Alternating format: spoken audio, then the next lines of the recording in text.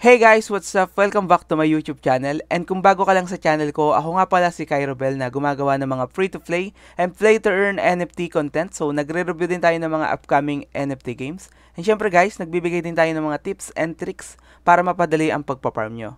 And kung gusto mo lagi ka updated about sa mga NFT games, so click mo lang yung subscribe button and notification bell. So tara guys, let's go!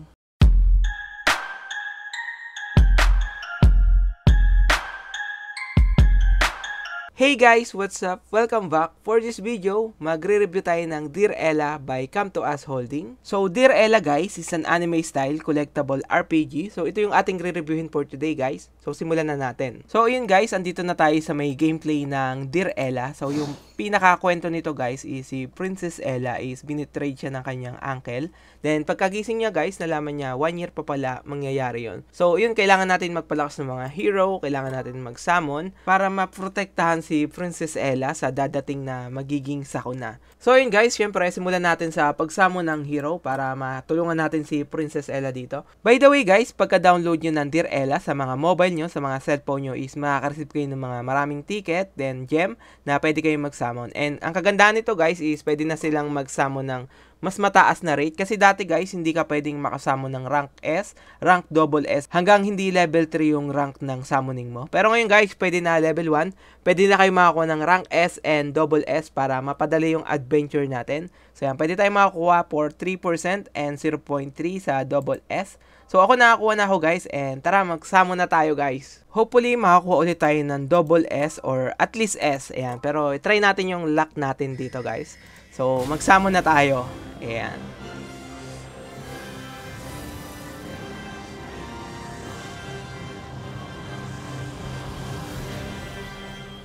So, ang ganda ng animation nun, guys. Sana rainbow, please lang. Ayan. Hindi siya rainbow, pero okay na rin, guys. So, feel the sun. So, yun, nakuha tayo si Simone, rank A. So, yun. Yun yung pinakamataas na nakuha natin na rank. So, rank A. Pero may chance tayong makakuha ng rank S. So, try ulit natin. Times 10. Mag-summon ulit tayo, guys. Ayun, rainbow, guys. So, nakita nyo naman, guys, is rainbow. So, napakaganda nun. Ibig sabihin, nakakuha tayo ng rank double S. So, di ko na-expect yun, guys.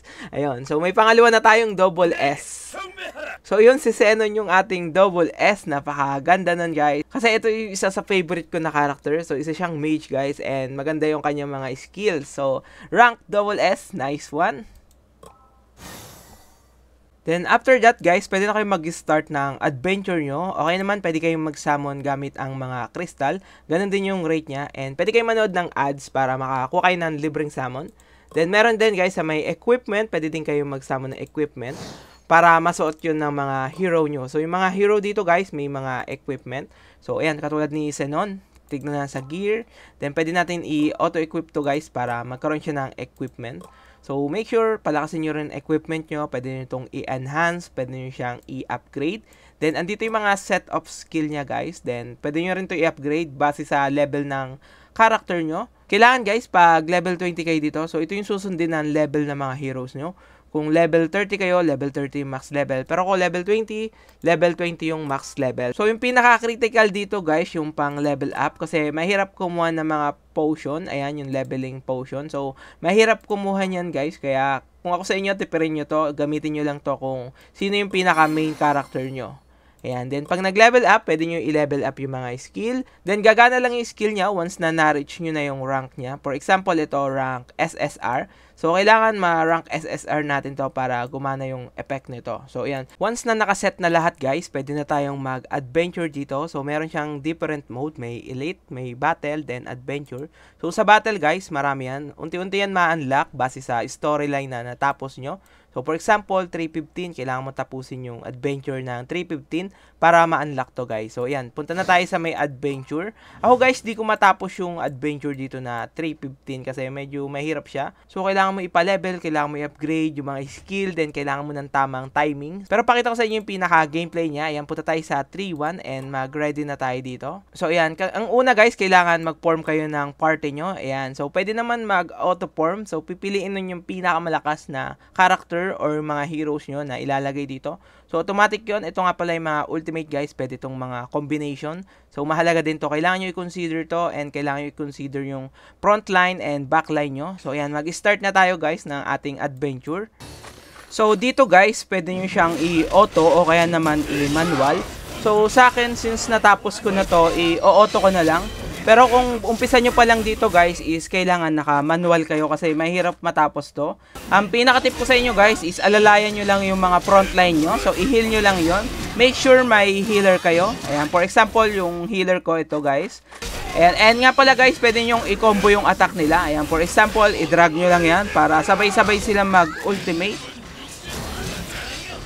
So, tamang tap lang guys para manalo kayo sa may mga laban dito. At yun guys, nanalo tayo sa 311 and make sure na i-3 star nyo lahat ng stage dito kasi may reward to.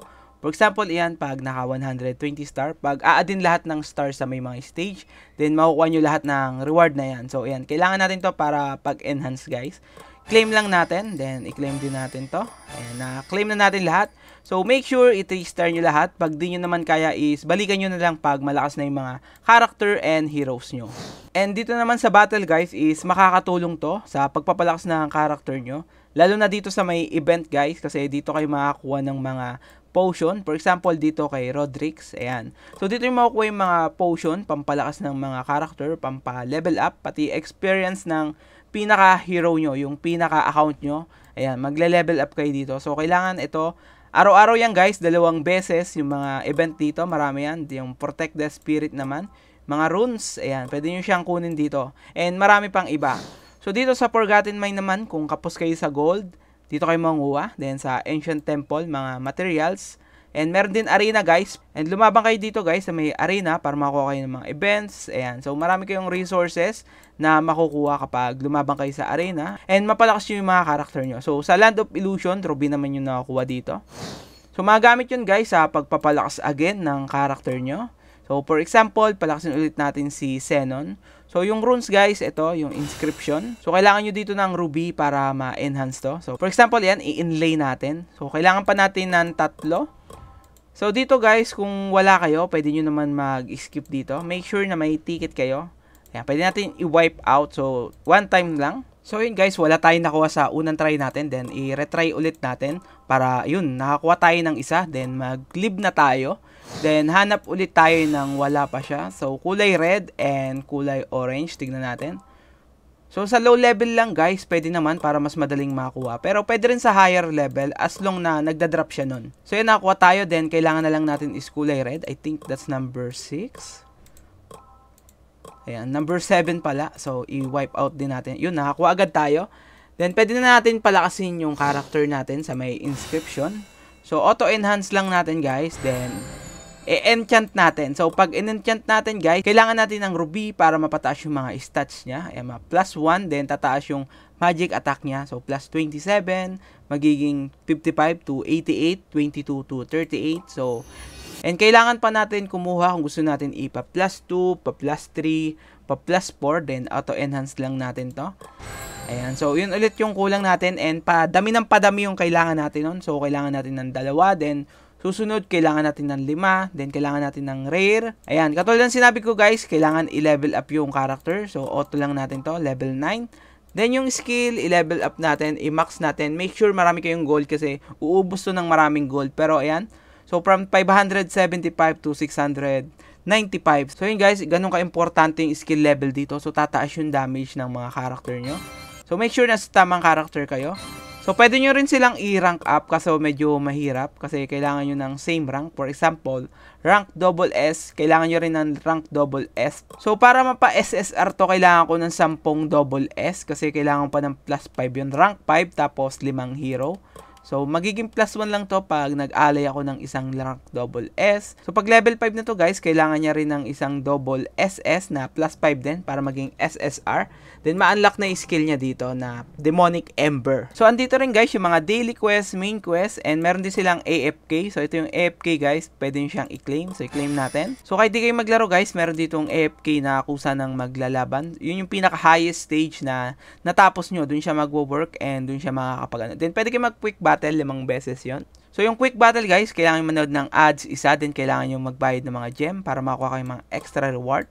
Then yung sa may daily quest, kailangan nyo itong gawin, yung main, yung daily, weekly, then achievement, para makuha kayo resources na magamit nyo sa pampapalakas ng character nyo. And kailangan nyo rin pala ito guys, yung pinaka-energy. So ayan, kailangan nyo ng energy dito para lumaban sa adventure. So kukonsume siya. Pero don't worry, madami naman silang binibigay na ganito. Sa may shop guys, marami naman dito libre, bibigyan kayo daily. Ayan, bibigyan kayo ng AP dito, pre AP 50 points. Ayan, pwede naman kumuha dito. And manood ka lang ng ads kung sakaling wala ka ng AP or energy, pwede yon. And actually guys, marami pa tong feature. Andyan yung mga mini game. And andito yung mga events. So, punta lang kayo sa events. Andito yung mga attendance. Total playtime guys, maglaro lang kayo. So, everyday bibigyan kayong tatlong summon. Then, pwede kayo manood ng ads. Pwede maging anim na summon yan para makuha kayo ng mga hero. And ito yung pinakamaganda guys sa may newcomer login event kasi unang-una mamimigay sila ng rank S, mga equipment guys. Ayan, so mahalaga yan and maganda yan. Then bibigyan din kayo guys ng ruby tsaka ng gem. So napakalaki niyan and malaking tulong. And pagkatapos nun mapupunta yun sa may mail. Don't forget to claim guys kasi na-expire yan. So 3 days mawawala yan. Make sure na claim all nyo. And lastly guys, dito sa may menu, Pwede kayong mag-upgrade dito ng Ethereal guys. Ito mahalaga to kasi magagamit nyo to in-game. For example, dito sa Ethereal of Nature. So dito ma-unlock yung auto battle. Then may mga increase attack. So pag pataas ng pataas yung level nyo guys, mamimili lang kayo. Pwede nyo siyang i-reset.